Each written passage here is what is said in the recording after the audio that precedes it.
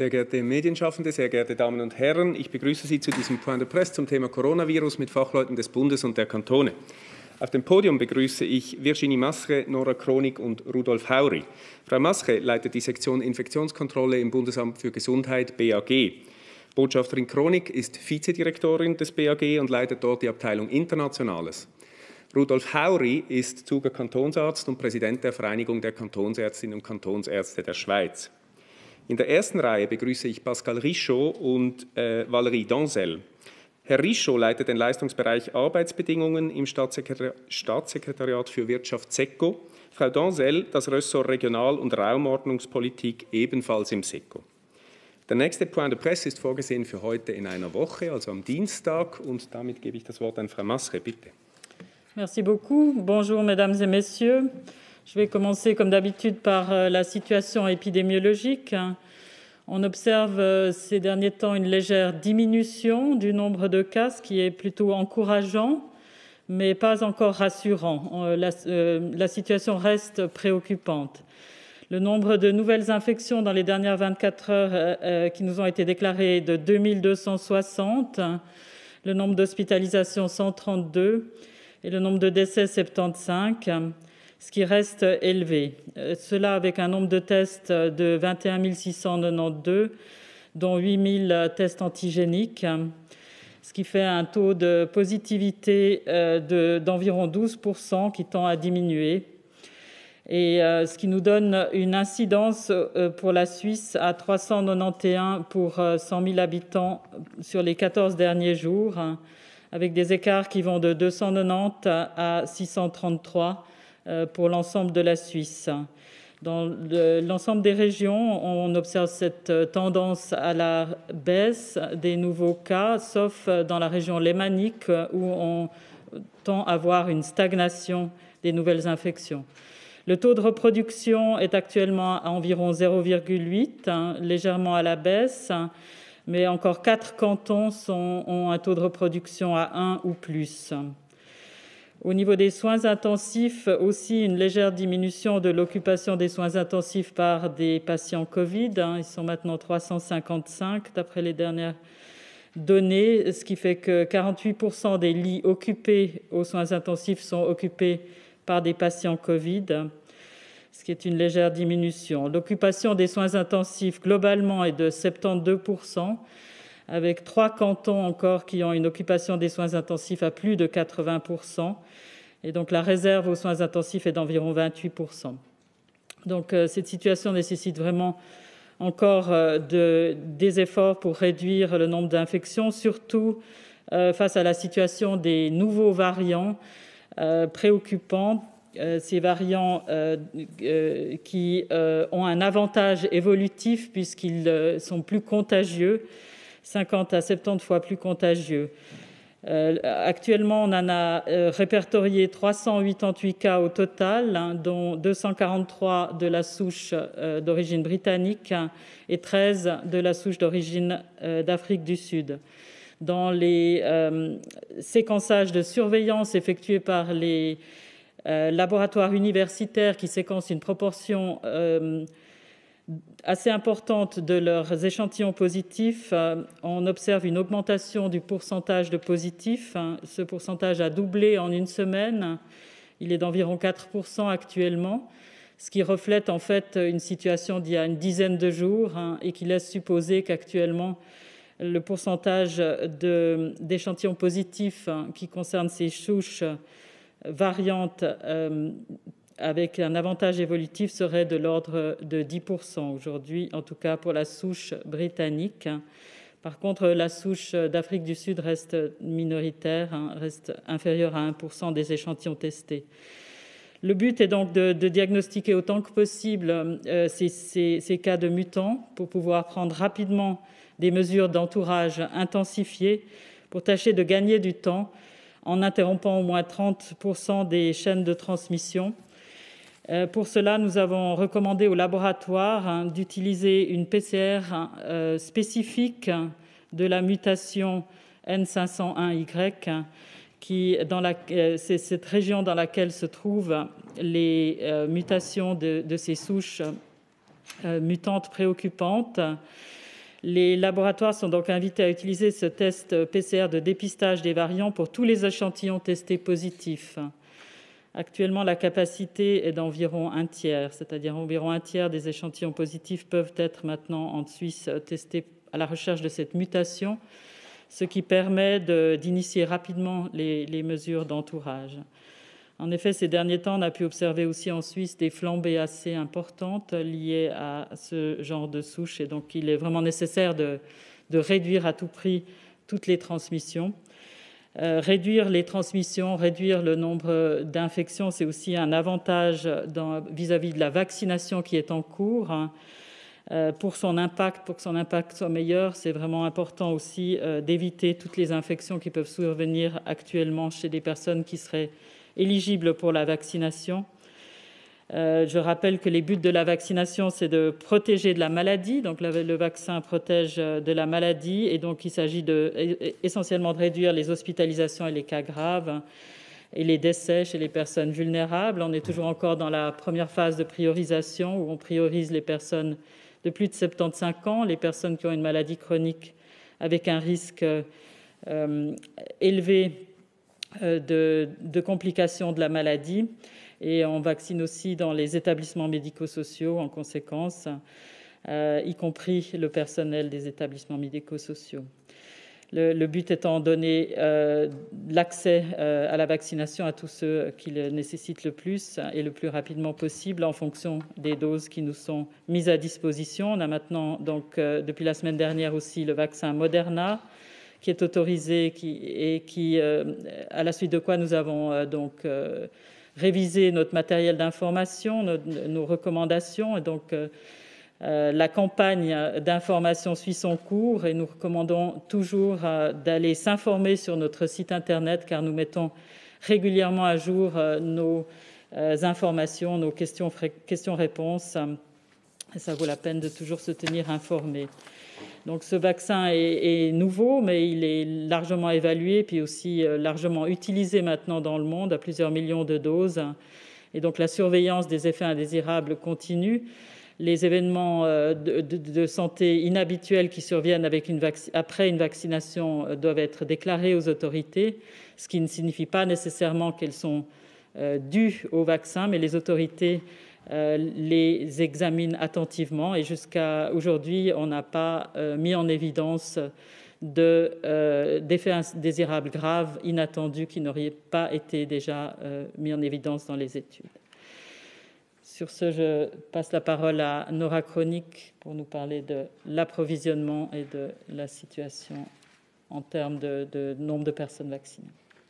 Merci, guten Tag. Ähm, bezüglich ähm, Stand der ähm, Lieferungen eine Information und zwar äh, die Konsequenzen von den äh, Produktionsengpässen und Lieferengpässe von Pfizer BioNTech, die die Schweiz auch betreffen. Die Lieferung, die gestern in die Schweiz eingetroffen ist, äh, wurde gekürzt. Ähm, wir haben aber Zusicherungen, dass wir äh, weiterhin im ersten Quartal die ähm, Mengen bekommen werden, die ähm, nicht nur gekauft sind, sondern auch so vorgesehen ist. Der Engpass geht offensichtlich zurück auf die Schließung einer kleinen Produktionslinie, um die gesamte Volumen erhöhen zu können von Seiten der Unternehmens und wir arbeiten natürlich jetzt täglich daran, um zu schauen, dass diese ähm, Lieferungen weiterhin zügig und äh, äh, rechtzeitig in die Schweiz kommen und sind natürlich im Kontakt mit den Kantonen, ähm, um allfälligen Fragen, sich dazu stellen, zu klären. Die zweite Information ist ein ähm, Update zu den äh, Zahlen von den Verimpfungen. Ähm, wir haben ähm, bis gestern Abend 100, rund 110.000 Verimpfungen in der Schweiz wurden durchgeführt bei den Kantonen. Wir sind jetzt daran, das äh, eng anzuschauen und anzugehen ähm, und das ganz eng koordiniert mit den Kantonen vorzubereiten, damit wir dann mit klaren und definitiven offiziellen Zahlen auch zu den Kantonen kommunizieren werden. Das ist uns ein großes Anliegen, dass wir da gut zusammenarbeiten. Ich äh, erinnere, dass die Kantone zuständig sind für die Verimpfung und wir äh, in der ganzen Kette jetzt immer wieder sehr eng zusammengearbeitet haben ähm, und wir eigentlich bis jetzt erste positive Rückmeldungen haben und natürlich auch Schwierigkeiten, die sich stellen, wo wir immer gemeinsam sofort anschauen, wie wir das lösen können, damit das ähm, so schnell wie möglich und auch so gut und so effizient wie möglich über die Bühne gehen kann. Danke. Vielen Dank. Herr Hauri. Die Impfungen dieser, wie wir es gehört haben, beispiellosen Kampagne laufen ja bekanntlich nach dem dezentralen Prinzip in den Kantonen. Sie werden also gesamtschweizerisch nicht aus einer Hand organisiert. Zentral vorgegeben sind die Zuteilung der Impfdosen, wir haben es gehört, die Basislogistik und die Impfstrategie. Dadurch wurde es den Kantonen ermöglicht, je nach Struktur und Größe und Geografie eine zweckmäßige Organisation aufzubauen und zu betreiben, um die vorgegebenen Packungseinheiten der angelieferten Impfdosen, sind ja keine Einzelpackungen, effizient einzusetzen. Das bedeutet, dass mit mobilen Impfequipen ebenso begonnen werden konnte wie mit stationären Impfzentren und sogar an einzelnen Orten mit Arztpraxen, wobei die Logistik unterschiedliche Anforderungen stellt. Der Ausbau der Kapazitäten ist in Städten um vollen Gang. Jeden Tag werden sie deutlich erhöht. Innerhalb der nächsten Woche dürfte sich das Niveau der Verimpfungen zwischen den einzelnen Kantonen in etwa angleichen. Um ihre Planungen nun tatsächlich umsetzen zu können, sind alle Kantone zwingend auf die ihnen zugeteilten und in Aussicht gestellten Kontingente angewiesen, wobei es vor allem Flexibilität braucht. So hat zum Beispiel der Kanton Zug bei gut 127.000 Einwohnern bisher einige tausend Impfdosen erhalten. Man kann dabei wellenförmig, möglichst schnell allen Impfstoff einsetzen und verimpfen und dann auf das nächste Kontingent warten oder ausgeglichen impfen und den Impfstoff so einsetzen, dass er bis zur nächsten Lieferung reicht. Zweitimpfungen sind jeweils kalkulatorisch zu berücksichtigen. Eine generelle, dynamische oder wechselnde Zuteilung an die Kantone ist bisher nicht vorgesehen und führt zu Unwägbarkeiten in der Planung und in der Umsetzung. Sie kann später allenfalls in Frage kommen und zielführend sein, wenn es tatsächlich nicht eingeplante Impfstoffreserven in einem Kanton gibt oder wenn Kantone mit dem gleichen System sich gegenseitig aushelfen. Ein Wettbewerb zwischen den Kantonen ist nicht angesagt. Vielmehr ist solidarisch das Ziel der Impfstrategie nicht aus den Augen zu verlieren, primär einen guten Schutz aller besonders gefährdeten Personen, etwas später der Bevölkerung schweizweit aufzubauen. Und das hat bei derzeit begrenzt erhältlichen Impfstoffen. Eile mit wohlbedachter Weile Forttritt den besonders gefährdeten Personen und dem betreuenden Gesundheitspersonal mit späterem Übergang zur Impfung aller Impfwilligen. Damit erhalten wir einen deutlichen Lichtblick in Richtung Frühjahr und Sommer. Ich komme noch zu den Mutanten. Wir haben es auch bereits von Frau Massere gehört. Nach den überzeugend dargelegten Erkenntnissen der Wissenschaftstaskforce ist ohne Gegenmaßnahmen mit einer schnell steigenden Verbreitung bedeutender mutanter Formen des Virus, wie denen aus Großbritannien, Südafrika oder Brasilien zu rechnen. Tatsächlich stellen wir diese Ausbreitungstendenz aus unserer Tätigkeit in den Kantonen leider bereits heute deutlich fest. Es mussten und müssen nun schon immer schneller und immer größere Quarantänen auch in Bezug auf Schulklassen und Schulen angeordnet werden. Damit drängen sich unter anderem die Fragen nach wiederholten, ausgedehnten Massentests auf und generell einer Anpassung der Teststrategie. Wir müssen durchhalten. Wir alle sind sehr gefordert. Wie es geht, zeigen die vergangenen Festtage eindrücklich. Einen großen Dank an die Bevölkerung. Die Festtage haben offensichtlich dank dem Einhalten der Maßnahmen durch den großen Teil der Bevölkerung nicht zum befürchteten Anstieg der Virusaktivität geführt. Auf keinen Fall dürfen wir das mühsam und mit erheblichen Einschränkungen für alle und auch für viele Branchen nun endlich wieder erreichte, die sinkenden Fallzahlen und die sich damit verbunden abzeichnende Entspannung in den Spitälern und in den Todesfällen erneut aufs Spiel setzen.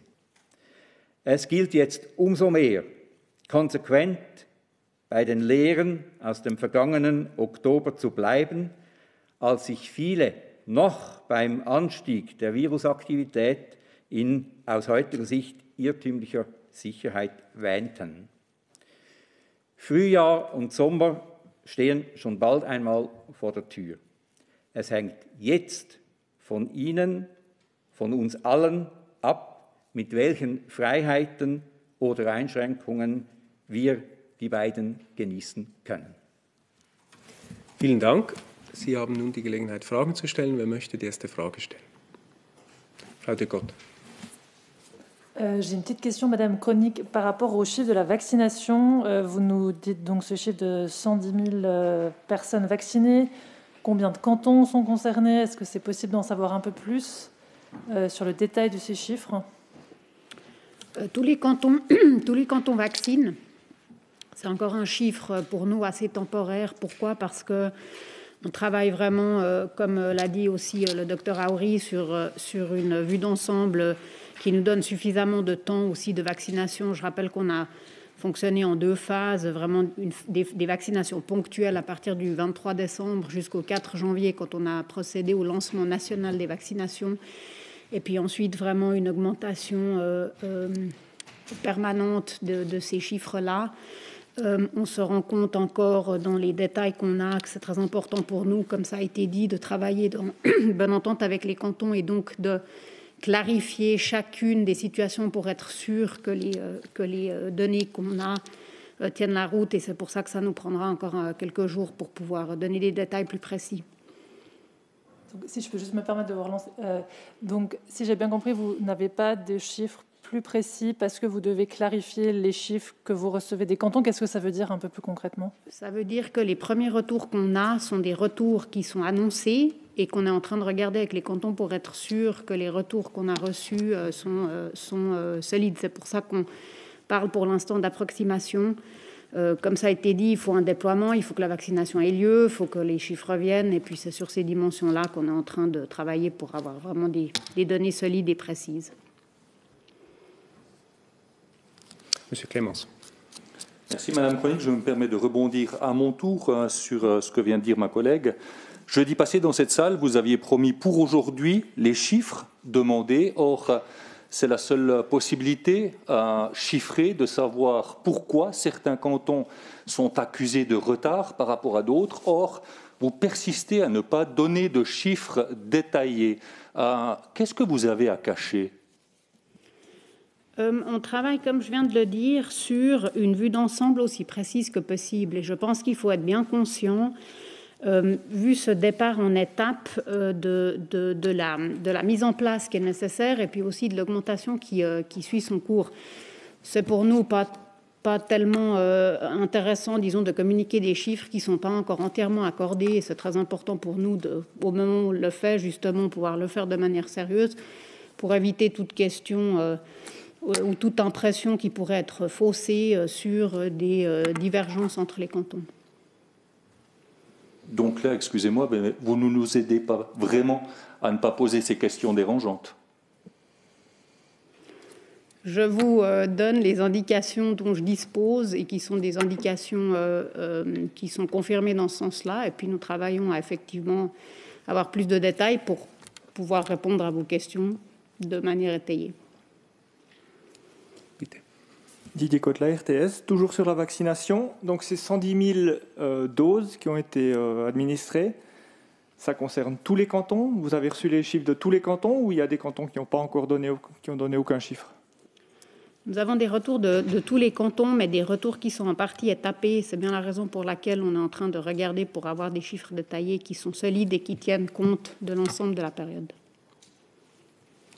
Herr Schumacher. Herr Hauri, Sie haben vorher gesagt, es bräuchte bald eine Anpassung der Teststrategie oder man müsste darüber nachdenken, wie sollte diese Anpassung der Teststrategie Ihrer Meinung nach aussehen? Und vielleicht gerade daran anschließend noch eine Frage an äh, alle, die vorne sitzen. Es gibt die Forderung nach Tests bei Einreise, besonders auch bei Flugreisen. Was ist von solchen Forderungen zu halten? Ich gebe gerne zuerst Antwort. Die Überarbeitung der Teststrategie kann wie folgt aussehen. Bis jetzt machen wir Teste bei symptomatischen äh, Personen und weniger oder nur in ganz umschriebenen Situationen, beispielsweise bei Ausbrüchen, bei asymptomatischen. Es ist sicher angezeigt, jetzt diese Strategie zu überdenken und anzupassen und eben die Teste sehr breit einzusetzen, auch bei asymptomatischen. Pour répondre à la question de tester des personnes qui entrent en Suisse, c'est effectivement un, un avantage si on peut détecter les personnes infectées euh, avant qu'elles arrivent en Suisse. Donc ça fait partie des réflexions sur, euh, sur la stratégie. Also sind solche Überlegungen momentan jetzt, werden die momentan gemacht? Wird so, einen, wird, äh, so etwas vorbereitet, Tests an Flughäfen? Pas directement des tests à l'aéroport, mais en tout cas la, la, stratégie de test aussi vis-à-vis -vis des, des, voyageurs est en, est en élaboration actuellement et, et on pourra communiquer prochainement à ce sujet. La stratégie des tests vise à justement à, mieux utiliser euh, les tests aussi chez des personnes sans symptômes pour détecter précocement des personnes potentiellement contagieuses. Il s'agit d'avoir une stratégie qui cible euh, certains groupes de population euh, de manière adéquate. Hein, et c'est ce qu'on est en train de, mettre sur pied. En particulier, des recommandations sont en préparation pour les établissements médico-sociaux, qui est le premier endroit où euh, ça paraît important de pouvoir tester régulièrement le personnel et, euh, et, les, et, et, les, résidents, le cas échéant, afin d'éviter des, des, flambées de, de cas. Herr Brocci. Ich muss auch noch mal nachfragen zur Publikation der kantonalen Impfzahlen. Wird das dann einfach in den nächsten Tagen aufgeschaltet auf der BAG-Seite oder kommunizieren Sie das erst äh, am voraussichtlich nächsten äh, Point de Presse. Wie es vorher gesagt wurde, ich äh, will mich nicht dann noch einmal zu einem Datum äußern, aber äh, wir sind im Kontakt mit den Kantonen. Es gibt auch noch äh, Sitzungen, die vorgesehen mit der, mit der GETK und äh, wir werden das so schnell wir das ähm, zusammen angeschaut haben, dann entsprechend publizieren. Herr Washington.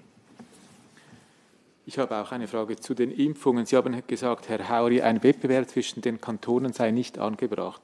Aber dass Trödelkantone, also sagen Sie damit, dass Trödelkantone nicht bestraft werden sollen? Oder was ist die Aussage genau? Ich weiß nicht, was ein Trödelkanton ist. Wir haben verschiedene ähm, Vorgehensweisen in den Kantonen. Es gibt Kantone, die mit Zentren begonnen haben. Es gibt Kantone, die mit mobilen Equipen begonnen haben. Und es gibt auch Kantone, die mit den Ärzten bereits äh, begonnen haben. Und es wird sich zeigen, im Verlauf der nächsten Woche wird sich da eine Angleichung geben. Man muss den Kantonen Zeit geben, ihre Planung, ihre Strategie, wie sie die Impfung machen, umzusetzen. Wenn man ihnen jetzt Impfstoff entzieht, dann können sie ihre Planung eben nicht umsetzen. Und dann werden sie zu Trödelkanton. Aber das heißt, das ist kein Thema, dass sozusagen jetzt bereits Impfdosen von einem Kanton in, in einen anderen vielleicht umgeleitet werden oder was weiß ich in zwei, drei Wochen. Das ist schlicht kein Thema. Es gibt unter den Kantonen Gespräche und Kantone können sich selbstverständlich aushelfen. Das kennen wir ja auch sonst, das gibt es. Aber grundsätzlich ist das im Moment kein übergeordnetes Thema, sondern man muss, wie gesagt, den einzelnen Kantonen Zeit geben, eben ihre Strategie, ihre Vorgehensweise aufzubauen. Ich nehme eine telefonische Anfrage entgegen von Herrn Gänger von Keystone SDA. Herr Gänger, bitte. Vielen Dank. Ähm, am Wochenende gab es Bilder aus Skigebieten, wo sehr viele Leute auf einem Fleck zu sehen waren. Eine Frage an Frau Massere und vielleicht an Herrn Hauri. Ähm, hat sich die Umsetzung der, der Schutzempfehlungen, hat sich die bewährt oder ist eine Schließung von Skigebieten in nächster Zeit aus épidémiologischer Sicht angezeigt? Vielen Dank.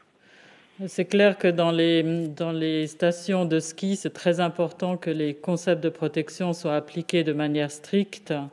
Et on s'attend à ce que les, les, stations de ski qui sont ouvertes respectent toutes les, les prescriptions euh, de l'ordonnance et puis surtout assurent euh, de contrôler que ces, ces mesures soient appliquées. C'est vrai que c'est une préoccupation si euh, dans ces endroits-là, euh, les règles de protection ne sont pas respectées.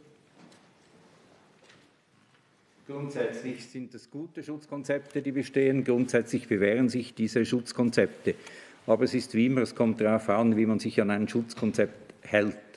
Und das wird sicher ein Thema, die Skigebiete werden sicher zum Thema, wenn die Personen, die die Skigebiete aufsuchen, sich nicht an die Vorgaben halten.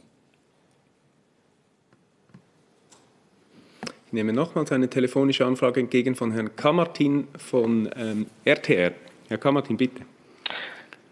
Vielen Dank. Ähm, ich schließe hier gerade an, also der Ruf nach Schließungen der Skigebiete wird wieder laut nach den Ereignissen in St. Moritz und in Wengen. Wie groß schätzen Sie den Effekt einer Schließung dieser Skigebiete ein, also auch positiv oder auch negativ, und vielleicht auch im Vergleich mit möglichen Schulschließungen, die auch ein Thema sind? C'est difficile, je crois qu'on n'a pas vraiment, on peut pas vraiment estimer quelle est la part de, des euh, stations de ski dans euh, la propagation du virus actuellement. Euh, mais c'est vrai que c'est un sujet de préoccupation. C'est un endroit où euh, on a des touristes, des voyageurs. Euh, c'est un endroit, c'est des endroits où si on n'est pas attentif à respecter les règles, il y a un potentiel de propagation. Donc c'est vraiment, comme dit euh, M. Aouri, un domaine où il faut être très attentif. Et puis, si c'est nécessaire, on, devra, euh, enfin, les cantons devront euh, retirer les autorisations d'ouverture des, stations de ski, puisque la décision leur appartient toujours. Herr Schumacher. Wenn wir uns jetzt an die erste Welle zurückerinnern, damals hatten wir auch sehr strenge Maßnahmen. Heute haben wir wieder ähnlich strenge Maßnahmen, aber damals auch noch Grenzschließungen. Heute haben wir keine solche Grenzschließungen. Beispielsweise Tessin fordert jetzt wieder partielle Grenzschließungen. Ähm, Wäre es jetzt nicht auch gerade mit Blick auf weitere Mutationen, die entstehen, wie beispielsweise in Südamerika, was man hört, sinnvoll, dass man jetzt auch wieder bei der Grenze stärker interveniert?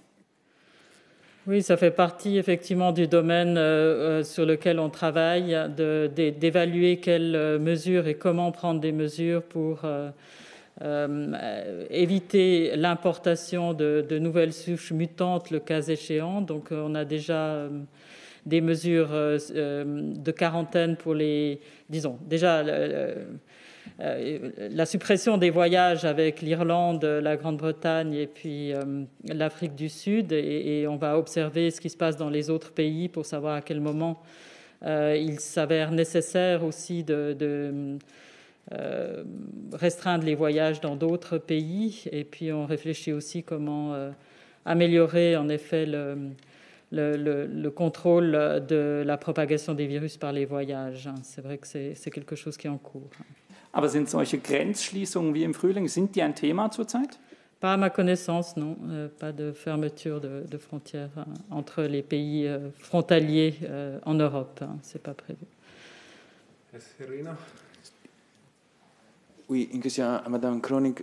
J'ai pas bien compris. En fait, les cantons doivent garder des réserves de, de, de, de vaccins pour le deuxième tour, disons, ou bien ils doivent les faire tout de suite et qu'est-ce qui se passe si on va avoir des problèmes de livraison avec Pfizer? En fait, on risque que des cantons n'ont pas de vaccin pour la, deuxième, euh, la deuxième fois. On a toujours appelé les, les, cantons et recommandé aux cantons d'utiliser les, doses à disposition. Pourquoi? Parce que euh, on part du principe que la première dose déjà protège euh, et que c'est pour nous essentiel de pouvoir protéger au plus vite la, population. Euh, on a bien évidemment euh, toute l'attitude dans les cantons de prévoir euh, des, réserves ou de prévoir la planification sur plusieurs semaines, mais évidemment aussi plusieurs mois, dans la manière de gérer les calendriers de rendez-vous, de gérer la première et la deuxième dose. Et euh, c'est quelque chose qui est pour nous euh, tout aussi logique de laisser dans les mains des cantons que de pouvoir justement travailler avec les différentes compositions géographiques. Et dans ce sens-là, pour nous, c'est vraiment un appel à utiliser les doses à disposition tout en ayant évidemment toute la latitude de procéder à la planification au mieux avec la possibilité de faire des, réserves pour la deuxième vaccination lorsque c'est nécessaire. Sur les impacts du ralentissement des livraisons de Pfizer, je rappelle que c'est un ralentissement, c'est pas un arrêt, c'est-à-dire qu'on n'est pas dans une situation où la production serait arrêtée ou les livraisons arrêteraient, ce qui aurait pour conséquence de devoir ensuite, disons, reporter des, rendez-vous. Et à ce stade, comme on travaille à, continuer à avoir des euh, livraisons régulières, on devrait ne pas avoir de conséquences sur les rendez-vous déjà pris. Évidemment, un des risques liés au projet qu'on ne peut jamais exclure complètement, mais qui à ce stade ne se présente pas dans cette ampleur-là. Herr Forster. Meine Frage an Herrn Lauri. Sie haben gesagt, es gebe, gebe unterschiedliche Vorgehensweisen bei den Kantonen, bei der Verimpfung schnell oder verteilt bis zur nächsten Lieferung. Wäre es nicht angezeigt, dass die Kantone möglichst schnell impfen angesichts des Wettlaufs gegen die Zeit äh, mit den mutierten Varianten? Sie müssen vor allem sicher äh, impfen. Die Geschwindigkeit ist ein Faktor.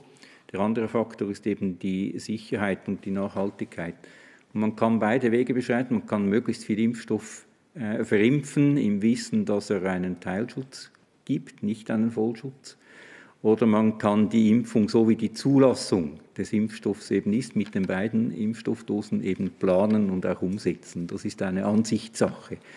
Grundsätzlich wird man sich finden, ich habe Ihnen gesagt, im Verlauf der nächsten Woche wird die Verimpfung ähnlich werden bei den Kantonen sich eben annähern. Das ist eine, ein Anfangsunterschied, der wird sich aber äh, mit der Zeit aushebeln. Vor allem, da wir jetzt ja zwei verschiedene Impfstoffe haben und vielleicht ein dritter Impfstoff, wer weiß, die Zulassung auch nicht mehr in allzu ferner Zeit erhält. Das ändert dann das Regime immer wieder. Frau de Gott. Euh, Madame Koenig, si j'ai bien compris ce que vous avez dit dans votre présentation, euh, hier vous avez eu la livraison de certaines doses du vaccin Pfizer, mais la livraison moins grande euh, que ce qui était prévu. Est-ce que c'est possible d'avoir des chiffres? Euh, La livraison de hier est à peu près à la, à la moitié de ce qui était prévu. Euh, avec euh, une continuation des livraisons prévues euh, avec des espaces de, deux semaines. et on travaille à ce qu'on ait la deuxième moitié avant la prochaine livraison. pas encore définitivement confirmé, donc j'aimerais pas là le confirmer officiellement, mais on, travaille vraiment à avoir une continuation des livraisons qui arrivent pour que ça équilibre les volumes on, garde le même volume sur les trois premiers mois, c'est-à-dire sur le premier trimestre, avec un ralentissement maintenant et puis euh, une, augmentation en deuxième temps et de la part de l'entreprise des, assurances que le, volume du premier trimestre ne, connaîtra pas de changement. Combien juste était prévu hier? Pardon? Le chiffre de, ce qui était prévu hier, si je peux. Euh, ce qui était prévu, c'était 126 750 et puis du coup, c'est la, la, moitié, environ, un tout petit peu plus. Herr Washington. Ich habe eine Frage zu den Tests. Cura Viva hat heute in einem Kommuniqué gefordert, dass äh, die Bewohner und die Betreuer in den Alters- und in den Pflegeheimen regelmäßig präventiv getestet werden sollen und dass der Bund die Kosten übernehmen soll. Würde mich Herr Hauri interessieren, was Sie davon halten und vielleicht Frau Massere, ob das ein Thema ist auf, im BAG auf Bundesebene. Zuerst zu den Tests selbst. Selbstverständlich kann das ein Thema sein und muss sich die Frage stellen, welche Tests man da anwenden will. Und äh, solange wir die Abstichstests haben, also die Tests durch die Nase, das ist nicht etwas extrem Angenehmes. Und da kann man sich fragen, ob dann Bewohnerinnen oder Bewohner von solchen Institutionen da regelmäßig, da alle paar Tage ähm, hinhalten und den Abstrich äh, machen zu lassen. Also wenn man ihn mal erlebt hat, dann weiß ich nicht, ob das geht. Sobald natürlich andere Tests zur Verfügung stehen, die einfacher gehen, ich spreche da die Speicheltests an, sieht die Situation von der technischen Seite natürlich wesentlich einfacher aus. Aber man kann solche Überlegungen machen und solange Heime eben so betroffen und auch vulnerabel sind, solange vor allem die ähm, Bewohnerinnen und Bewohner noch nicht ähm, vollständig geschützt sind durch die Impfung, sind das sicher prüfenswerte äh, Fragen oder Themen. Danke. Ich, mich würde interessieren, wie viele der positiven Tests mittlerweile auf die Mutanten untersucht werden, ob man das in Zahlen festhalten kann. Oui, c'est-à-dire qu'il y a deux choses. Hein. Il y a, si on a une suspicion que, qu'un qu'une personne soit infectée avec un mutant, euh, le médecin cantonal peut faire la demande d'un séquençage dans un laboratoire euh, universitaire. Et euh, là, je dois dire que c'est, je ne sais pas quelle proportion des, tests positifs font l'objet d'un séquençage euh, je sais qu'il y a un certain pourcentage des tests positifs qui sont séquencés dans les, laboratoires universitaires. Ça peut aller jusqu'à 30% des souches qui sont séquencées euh, à but de surveillance dans les laboratoires universitaires. Et puis maintenant, avec cette nouvelle possibilité de faire une PCR ciblée euh, sur la mutation, dans tous les laboratoires. Actuellement, la capacité est d'environ 30% environ un tiers hein, des échantillons positifs, euh, y a la capacité de les tester avec cette, euh, cette PCR particulière. Mais donc, euh, je ne peux pas dire globalement quelle, quelle proportion des échantillons positifs. Ce qu'il faut savoir aussi, c'est qu'on peut faire ça que avec un échantillonnage prélevé pour une PCR. Donc, tous les tests qui sont faits par test rapide euh, ne permettent pas de faire un, séquençage ou euh, une PCR spécifique. Il faut refaire un nouveau prélèvement à envoyer au laboratoire euh, dans ces cas-là, si on a une suspicion. Vielen Dank. Ich kann auch keine Prozentzahlen nennen. Ich selbst äh, mache das so und sicher auch meine Kolleginnen und Kollegen. Wir können solche Sequenzierungen anordnen und machen das auch. Das dauert aber dann eine gewisse Zeit, bis das Resultat vorliegt. Und wir setzen darum, also jetzt wir beispielsweise, setzen darum auf diese neue PCR-Sonden und machen, lassen alle Teste über diese Sonden gehen, also alle äh, PCR-Teste. Wie Frau Masser gesagt hat, nicht Antigen, das geht nicht mit den Schnelltesten, aber mit den PCR-Testen. Wir lassen alle in solchen Labors bestimmen. Das geht viel schneller. Herr Clemens. Merci. Vaccination toujours et chiffres toujours, pardon d'insister. le ratio dose à disposition et euh, dose administrée. C'est intéressant d'avoir ce ratio pour expliquer comment ce que euh, réagissent et agissent certains cantons. Quand on, appelle l'OFSP, on nous renvoie vers les cantons. Quand on contacte les cantons, on nous dit c'est l'affaire de l'OFSP. Est-ce que c'est la faute du fédéralisme? Une fois encore euh, sur les, sur les ratios, euh, je crois que c'est assez intéressant de garder en tête qu'on a euh, un demi-million de doses pour la Suisse sur le mois de janvier. Et puis un million de doses qui est prévu pour février, évidemment toujours avec, euh, la, prudence de mise sur les, capacités de, production, évidemment. Euh, et puis euh, les questions qui sont encore ouvertes sur les, sur les autorisations de mise sur le marché à venir. Et je pense que le chiffre complet d'aujourd'hui démontre quand même assez bien euh, la, progression qu'on voit dans l'utilisation, dans la vaccination dans les cantons. Comme je le disais avant, à prendre encore avec avec prudence, puisque euh, on estime que c'est des, estimations à ce stade. Et puis, comme l'a dit euh, le docteur Auri, aussi vraiment cette progression qui doit nous mettre en, mesure d'utiliser ces volumes sur le mois de janvier, sur le mois de février, avec une progression constante qui va augmenter jusqu'au mois de, mai-juin, où on sera là vraiment dans une phase où on n'aura plus la difficulté de la gestion euh, euh, d'une limite dans les capacités de, doses produites et donc d'impact sur les doses reçues et administrées, mais euh, la gestion d'un énorme exercice de vaccination qui a encore historiquement été jamais vu pour le, système de santé suisse. Et je crois que c'est ça qui est très important maintenant d'accompagner et puis de, de, vraiment poursuivre cette montée en ampleur pendant le mois de janvier, qui est vraiment pour nous le départ. Hein, c'est commencer, en partie traiter avec des vaccins qu'il faut doser, qu'il faut préparer, toute, les, toute la prudence qui est de mise dans la, dans la gestion de ces dimensions-là. Mais finalement, en tout cas, dans l'ordre de grandeur, pour nous, une indication qu'on est en bonne voie et puis qui va nous conduire jusqu'à l'été à vraiment pouvoir accompagner cet exercice. Et je crois que dans ce sens-là, pour moi, le plus important depuis des mois, mais à ce stade particulièrement, c'est vraiment de travailler extrêmement étroitement entre confédération et canton, main dans la main, pour justement accompagner cette montée en ampleur et puis tout de suite résoudre tous les défis et tous les, tous les problèmes qui peuvent se poser, qui étaient des fois en partie des problèmes auxquels on ne pensait peut-être même pas, et qu'il faut résoudre pour s'assurer que cette progression peut euh, se faire euh, du mieux possible et le plus rapidement possible, mais aussi avec le plus de sécurité possible. Les responsabilités sont clairement définies dans la loi sur les épidémies. Hein. Quelle est la responsabilité des cantons Quelle est la responsabilité de la Confédération Donc, euh, on travaille ensemble avec chacun ses responsabilités. Schumacher.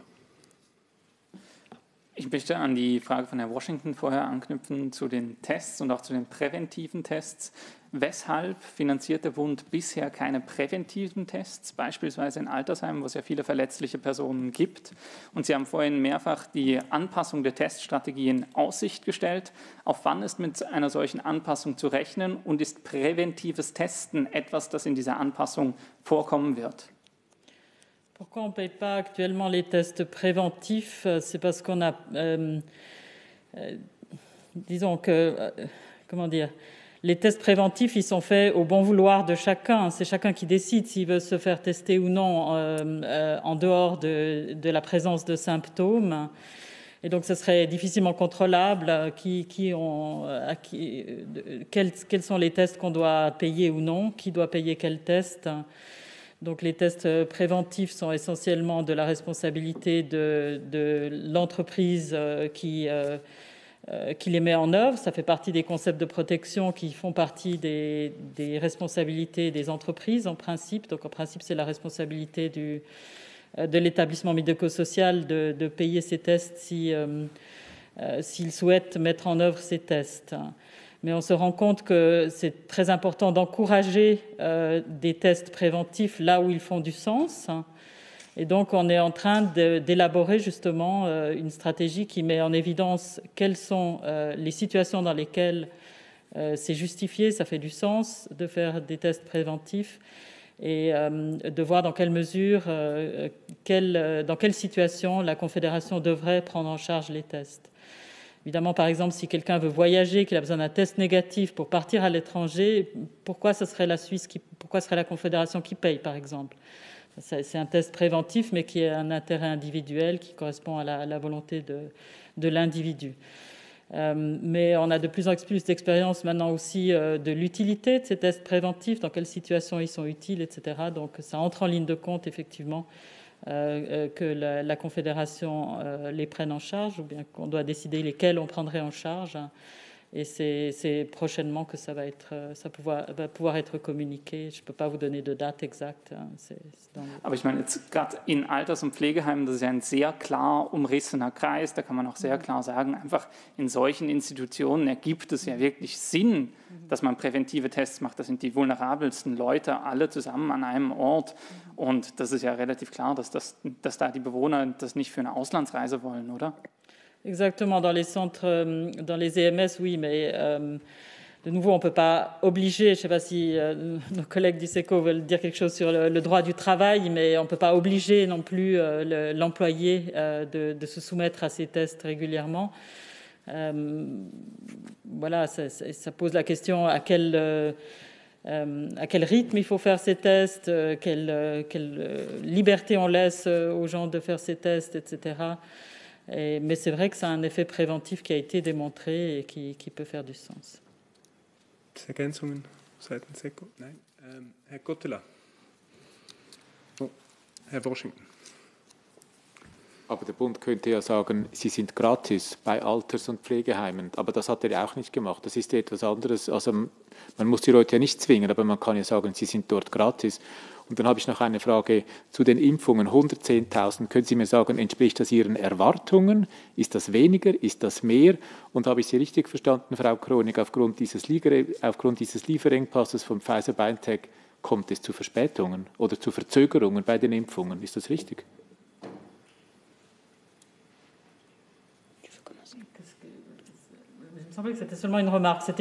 Ja, das war eine Frage, weil das ist ah. die Forderung von, von Cura Viva, dass, dass der Bund diese, Impfung, äh, diese Tests für Pflege- und Altersheime gratis zur Verfügung mhm. stehen soll. Und das gratis ist ja unabhängig davon, dass man die Leute zwingt, sondern man kann einfach sagen, dort ist es auch gratis. Alors, ça fait partie des choses qu'on est en train d'évaluer, euh, la pertinence de prendre en charge ces, ces tests aussi euh, à la Confédération, de même qu'on prend en charge les tests euh, pour les personnes symptomatiques. C'est en discussion, en effet.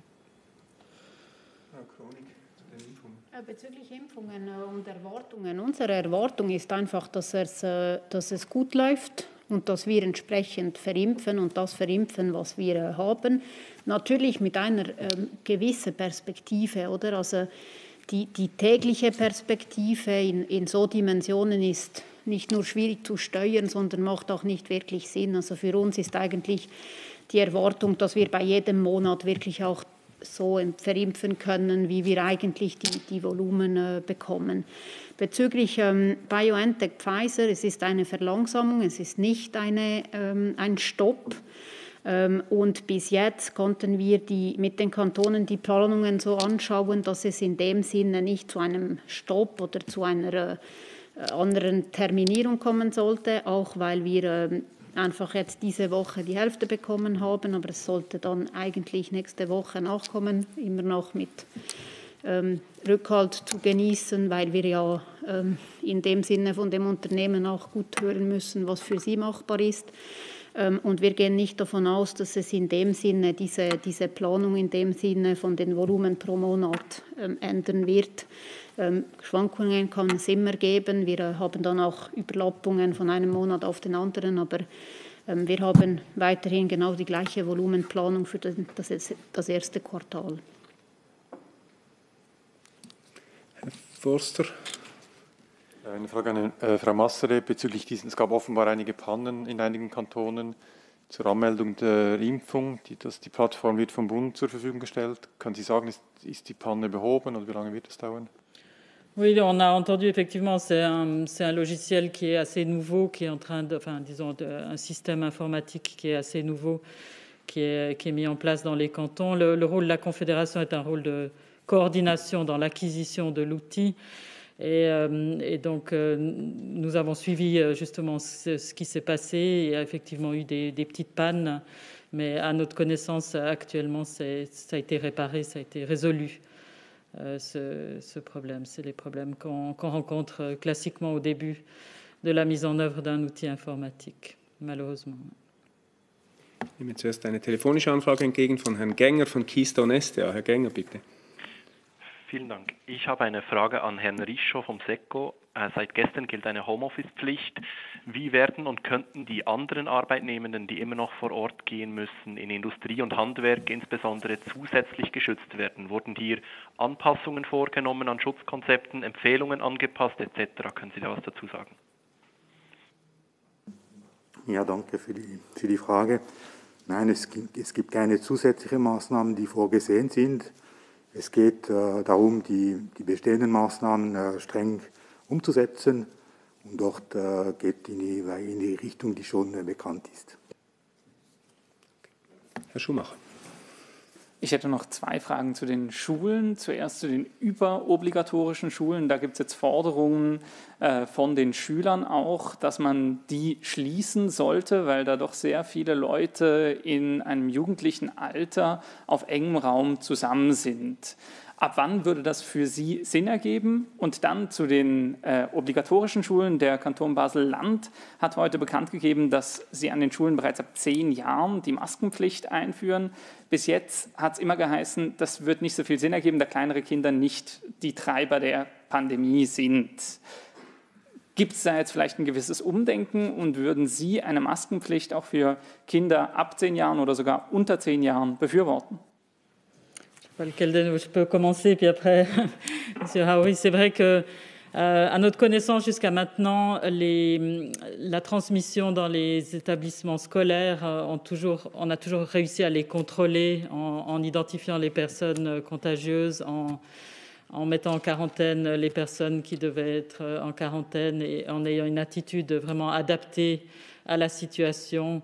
Et donc, c'est pour cette raison que, euh, à l'heure actuelle, on préfère euh, beaucoup de gens préfèrent que les écoles restent euh, ouvertes en, enseignement présentiel et qu'on s'assure de, bien prendre toutes les mesures préventives possibles avant d'en arriver à, à, un enseignement à distance. Donc c'est la perspective et c'est sur l'expérience de ces euh, derniers mois euh, qu'on fait ce choix.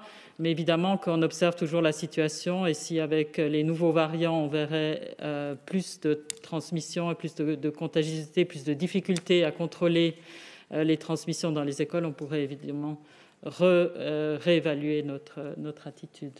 Concernant l'obligation des masques, peut-être. Also es ist ein klassisches Abwägen, wie Frau Massere äh, gesagt hat. Äh, wie weit man mit den Maßnahmen wirklich ähm, gehen will und äh, was eben dann die Folgen wären beispielsweise bei der äh, Bildung oder die pädagogischen. Tatsächlich ist es so, dass die jungen Erwachsenen ja vorher schon das äh, gleiche Verhalten gezeigt haben bei der Virusübertragung wie die Erwachsenen. Und bei diesen Mutanten müssen wir ja auch annehmen, dass die ähm, Infektiosität oder die Übertragung gesteigert ist. Das ist sicher etwas Prüfenswertes. Die Forderung ist verständlich nach den äh, Schließungen oder Einschränkungen der obligatorischen Schulen, aber das muss sorgfältig geprüft werden und es ist sicher jetzt nicht Zeit, das notfallmäßig äh, zu tun.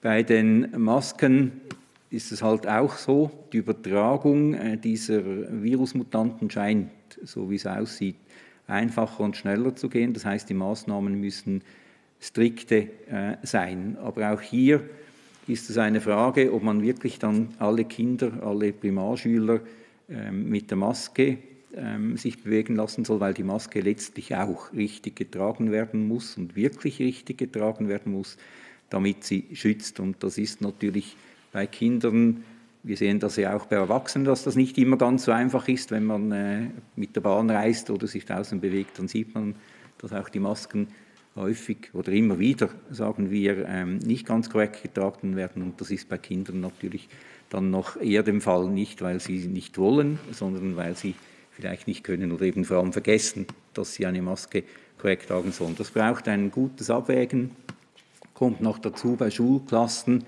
wenn man eine Altersgrenze macht, habe zehn Maske tragen, unter zehn nicht, und es gibt äh, Schülerinnen und Schüler unterschiedlichen Alters in einer Klasse, dann müsste man dann der ganzen Klasse sagen, ihr müsst die Maske tragen. Also es gibt dann auch noch ein paar praktische Fragen.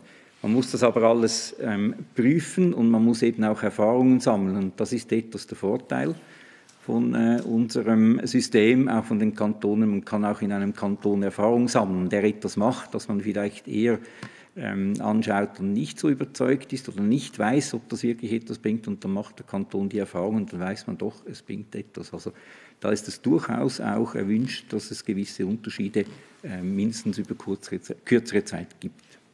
Aber wenn ich kurz nachhaken darf, ähm, das klang jetzt etwas ambivalent in Bezug auf die Masken. Also ja. denken Sie, es, es, ergibt keinen Sinn oder es ergibt Sinn oder es gibt erst ab einem gewissen Alter Sinn? Können Sie das noch ein bisschen präzisieren? Ja, es ist eben ambivalent. Das ist genauso, weil es verschiedene Punkte gibt. Ich habe Ihnen gesagt, es kann eben, wenn eine Maske getragen wird, aber sie wird nicht richtig getragen, dann nützt sie auch nicht und dann lässt man sie gescheiter ähm, weg. Ich kann Ihnen nicht ein verbindliches Alter sagen. Bis jetzt sind wir davon ausgegangen, dass Kinder mit zwölf Jahren, dort ist ab zwölf Jahren aufwärts, ist es klar berechtigt, auch epidemiologisch eigentlich klar ähm, begründbar, dass sie eine Maske tragen und Kinder darunter nicht die Erkenntnis, ob jetzt die Kinder darunter, wenn man das rein wissenschaftlich anschaut, Äh, Ob es da neue Erkenntnis gibt, dass sie Masken tragen sollen, das ist mir nicht bekannt, glaube ich, ist auch nicht der Fall, sondern es geht wirklich darum, abzuschätzen, jetzt braucht es halt bei diesen Mutanten wahrscheinlich noch zusätzliche Maßnahmen, weil sie einfach übertragbarer sind und dann stellen sich diese Fragen. Aber es ist eine ambivalente Frage, das ist ganz klar. Le virus, il ne connaît pas l'âge de, de l'enfant, donc euh, le risque de, de, de, tomber malade et de transmettre le virus augmente pro progressivement avec l'âge. Nous, on, on, observe à partir de 12 ans, mais c'est peut-être un peu en dessous de 12 ans. Ce n'est pas une limite stricte, l'âge auquel le virus commence à être plus euh, transmissible ou plus euh, infectieux ou conduire plus souvent à la maladie. Noch eine Frage zur Mobilität und dem Reiseverhalten seit, dem gestrig, seit der gestrigen Homeoffice-Pflicht. Haben Sie da schon konkretere Zahlen, wie sich das entwickelt hat, die Mobilität der Schweizerinnen und Schweizer? Non, je crois que c'est trop tôt pour, euh, pour avoir déjà des données sur la mobilité, mais on va suivre ça de près, en effet. Herr Désolé, euh, Madame Chronique, de revenir sur, la vaccination, mais il y a quelque chose que je ne comprends pas. Les 110 000 doses que vous mentionnez, c'est quand même la somme de, de, 26 chiffres cantonaux. Qu'est-ce qui vous empêche de, de, donner ces 26 chiffres cantonaux? Où est-ce que ça coince et qu'est-ce qui coince? Pour nous, c'est important d'avoir euh, une communication active et solide. Et puis, euh, le, le, deuxième point qui est essentiel, c'est qu'on le fasse vraiment main dans la main avec les cantons. Euh, et dans ce sens-là, on travaille maintenant sur des premières estimations. Je, l'ai dit, c'est euh, euh, vraiment les, débuts aussi en partie de la mise en place, surtout sur les premières expériences qui ont été faites entre le 23 décembre et le, et le 4 janvier, avec ces vaccinations ponctuelles qui ont été mises en place. Et puis pour nous, c'est très important d'avoir des, chiffres publiés officiels et c'est la raison pour laquelle on travaille pour l'instant à communiquer une estimation général du, chiffre pour toute la Suisse avec euh, euh, des échanges très étroits avec les cantons pour être euh, vraiment sûr qu'on a toutes les données dont on doit disposer et puis pouvoir les présenter au, public de manière solide et puis surtout conjointe. Mais est-ce que vous appelez les cantons à nous donner les réponses? Parce que nous, quand on contacte les, les cantons, certains d'entre eux nous renvoient à l'OFSP. Donc, je ne voulais pas faire aujourd'hui une fois de plus appel à la patience parce que c'est ce qu'on a demandé aussi à la population en matière de vaccination, mais je crois que c'est quelque chose sur lequel on est en train de travailler euh, aussi rapidement qu'on peut et euh, ce sera publié euh, dûment avec les, la vue d'ensemble générale dès que possible. J'ai encore une question à propos des écoles. Est-ce qu'il y a vraiment des signes que le nouveau variant circule, circulerait ou circule dans les écoles? Et puis, quelles seraient les mesures plus strictes à entreprendre si, voilà, il, comme on le sait, il est plus contagieux? Ça, c'est tout en ce qui concerne les écoles, à ma connaissance, c'est au Tessin qu'il y a eu euh, une flambée dans, dans une école, euh, mais je ne connais pas les détails euh, sur l'âge des enfants, le type de propagation, etc. Donc, il faudrait demander aux au Tessin quelle est leur expérience avec cette flambée du virus mutant de type euh, Grande-Bretagne en, au Tessin. Mais ensuite, quelles mesures il faut prendre supplémentaires? C'est aussi quelque chose qu'on est en train d'évaluer ensemble avec les experts. Hein. Ce n'est pas du tout évident. À première vue, euh, c'est les mêmes mesures qui s'appliquent, c'est-à-dire c'est toujours... Euh, la distance, la limitation des contacts, l'hygiène des mains, euh, les masques là où c'est possible. Peut-être il faut aussi euh, envisager dans les classes de réduire euh, la densité des enfants, donc en ayant des classes, des salles de classe plus grandes ou bien des demi-classes. Enfin, il y a différentes alternatives qui peuvent être envisagées et qui sont en discussion. Hauri. Ich kann nichts zum Tessin sagen und nicht eine allgemeine Antwort geben. Wir haben heute die Medien informiert, dass wir im Kanton auch zwei Schulklassen haben, denen je zumindest ein Kind ähm, in die Schule geht, das ist Primarschule, ähm, die das Mutantenvirus in sich tragen. Und wir haben den äh, Vorgaben oder Absprachen dem BAG gemäß nun, was wir sonst nicht machen, die ganzen Klassen in Quarantäne gestellt, also diese beiden Klassen, sonst machen wir das nicht, sonst geht es ja nach der drei, äh, Dreierregel. Und werden die ganzen Klassen testen überprüfen. Also die Maßnahmen gehen weiter, als sie sonst im, im sage jetzt mal, Normalfall beim äh, anderen Virusstamm ähm, bis jetzt praktiziert wurden. Monsieur Clémence. Merci. Question volontairement naïve. Est-ce que le ralentissement de production du vaccin euh, Pfizer affecte d'autres pays que la Suisse Oui, c'est l'ensemble du monde qui est concerné. Euh, à, notre, à, notre, connaissance, à ce stade, à l'exception des États-Unis, mais là aussi euh, euh, sans euh, communication officielle, mais l'ensemble du monde est concerné. Herr Schumacher. Ich komme auch noch mal auf die Grenzen zurück und die Maßnahmen an den Grenzen. Wenn man jetzt wirklich einfach noch, viele Leute haben sicher noch das Bild von diesem Zaun im Kopf, als das letzte Mal die starken Maßnahmen getroffen wurden. Wie ist es zu erklären oder wie können Sie es den Leuten erklären, dass wir heute nicht Maßnahmen an der Grenze treffen? Ja, ähm, wir ähm, ähm, haben ja, also wir sind ja im Schengen-Raum und haben ja diese Maßnahmen zu den Grenzen auch in dem Sinne in den Schengen-Abmachungen äh, entsprechend dann äh, mitorganisiert. Ähm, und soweit ähm, ich das äh, im Moment auf dem Radar habe, sind das nicht äh, Schengen-Diskussionen, die eine gesamte europäische ähm, Schließung vorsehen würden. Es gibt natürlich immer die Möglichkeit, äh, Tourismusdimension zum Beispiel einzuschränken, aber meines Wissens sind das im Moment nicht ähm, Maßnahmen, die vorgesehen. À mon souvenir, quand on a fermé les, frontières euh, dans la première vague, hein, c'était essentiellement, ça avait commencé essentiellement pour protéger nos, établissements hospitaliers euh, par rapport à, euh, voilà, de limiter le, nombre de personnes qui pouvaient euh, euh ensuite euh, demander l'accès à nos, nos, services hospitaliers, vu qu'on sentait que ça allait mettre euh, à rude épreuve la, les capacités hospitalières.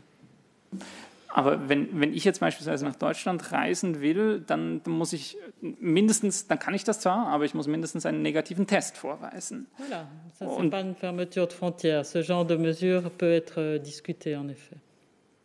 Und eben da haben Sie gesagt, Sie können noch nicht sagen, auf wann da weitere Informationen, wann so etwas in der Schweiz in Kraft treten könnte. Ähm, non, je ne peux pas dire, c'est le, le, Conseil fédéral qui communiquera en temps voulu. Die Einreisekriterien mhm. sind eine Dimension, auf der man etwas tun machen kann, also wo man Maßnahmen treffen kann. Und das, die andere Dimension ist wirklich die Schließung der Grenze. Mhm. Ähm, und die, die Grenzen wurden ja auch in der ersten Welle nicht äh, Zaun ist geschlossen, weil ja auch äh, immer äh, der Durchgang von, äh, von Grenzgängern, die Arbeiten möglich waren, aber man hat einfach die ähm, Einschränkungen gemacht bei den privaten oder touristischen Grenzüberschreitungen. Ähm, und was die Reise Einreisekriterien anbelangt, das ist ja Sache jedes Landes, das dann selber zu entscheiden. Frau de Gott. J'ai encore une question à propos des écoles. Euh, Est-ce que c'est possible, euh, au niveau de l'OFSP, d'avoir une vision d'ensemble sur les cas dans les différentes écoles dans les cantons? Est-ce que vous l'avez Et puis, est-ce que vous pouvez nous dire non, ce qu'il en est? On n'a pas de système de déclaration euh, qui, qui, nous permette de savoir précisément euh, ce qui se passe dans les écoles, puisque le les critères de déclaration, c'est le test positif hein, et puis euh, on n'a pas d'informations supplémentaires hein, sur les personnes testées positives en dehors des personnes qui sont hospitalisées ou qui euh, sont dans un établissement médico-social ou qui sont décédées actuellement. Donc euh, la vue d'ensemble sur les écoles, c'est vraiment les cantons qui les ont. Monsieur Clémence. Le Conseil fédéral, en tout cas une partie du Conseil fédéral, s'est fait vacciner. Est-ce que euh, d'autres personnels politiques, comme des conseillers d'État, se sont déjà inscrits sur leur liste respective dans les cantons, selon vous? J'ai aucune idée. Pour le Conseil fédéral, on laissera volontiers la chancellerie fédérale euh, prendre euh, position sur le, le, reste de la Suisse. Nous suivons les doses qui arrivent, nous suivons les livraisons de doses, nous travaillons avec les cantons pour le retour sur les vaccinations. Euh, nous n'avons aucune euh, ni intention ni données sur euh, le nom de personnes qui se seraient fait vacciner ou non. Donc c'est une information dont on ne dispose pas, mais dont nous n'avons pas non plus l'intention de disposer, puisqu'il s'agit de la protection des données personnelles de chacun. Was die Mitglieder des Bundesrats betrifft, dürfen Sie sich gerne an den Bundesratssprecher wenden. Herr Washington. Aber wissen Sie, ob innerhalb dieses Systems Staat andere Personen ähm, sich bevorzugt haben impfen lassen können, außer der sieben Bundesräte und möglicherweise des Kanzlers und der beiden Vizekanzler. Ob irgendwelche anderen, was weiß ich, Armeechef, Amtsdirektoren, irgendwer auch dieses Privileg genießt.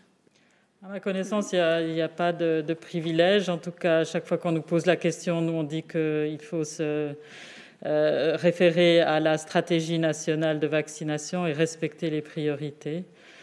Après, euh, c'est les cantons qui mettent en œuvre les vaccinations, donc euh, c'est eux qui ont la liberté éventuellement de, s'écarter de la, stratégie ou des recommandations nationales, mais ce n'est pas prévu. Gibt es noch Fragen? Nicht der Fall. Dann danken wir für Ihr Interesse, wünschen weiterhin alles Gute, bleiben Sie gesund, bis zum nächsten Mal.